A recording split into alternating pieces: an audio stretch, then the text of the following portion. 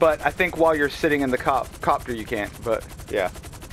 Yeah, but I, I was just trying to protect myself. Oh god! Cool. Oh god! Oh god! The Cargobob just shot out a person.